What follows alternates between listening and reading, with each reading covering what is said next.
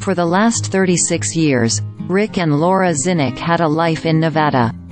But when their son and grandchildren decided to relocate to Oklahoma City, the Zinnicks decided to follow them, putting their four-bedroom house on one-third of an acre up for sale. The decision worked out well.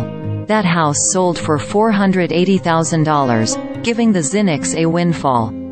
They found a more manageable, one-story home in Oklahoma for $275,000 that was close to their family.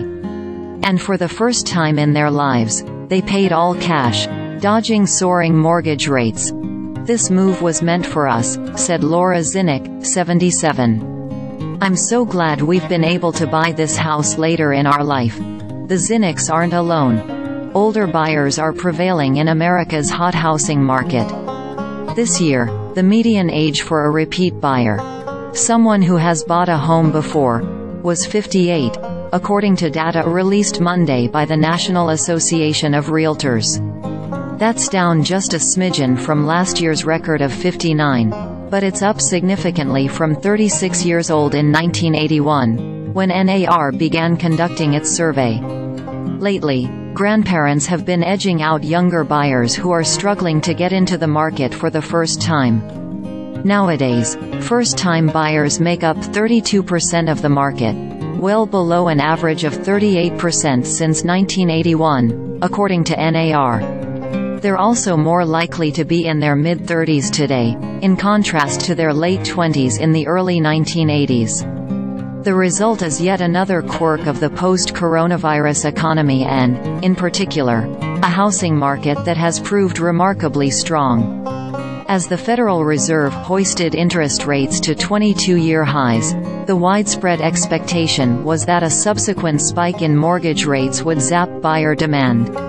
But even while the 30-year fixed-rate mortgage approaches 8%, the housing downturn was short-lived. And in the meantime, a new picture is emerging of the buyers who still find a way to get a house. They're older, and because many of them sold a home before buying, they're also wealthier. We are still talking about an incredibly difficult market for first-time buyers to enter, even if there's slightly less competition, said Jessica Lautz, the deputy chief economist at NAR. If there's a multi-offer situation, an all-cash buyer or someone who has a lot of equity is likely to win. And that person is going to be older. There are many reasons.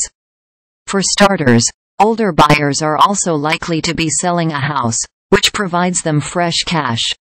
The typical home seller was 60 years old in 2023, according to NAR, the same as last year.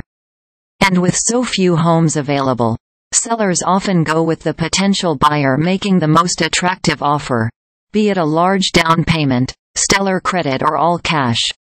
There, too, older buyers have a leg up. Jennifer Dodds sees that dynamic in the Houston area, where the median sale price has jumped from about $275,000 to $325,000 in the past three years, according to Redfin.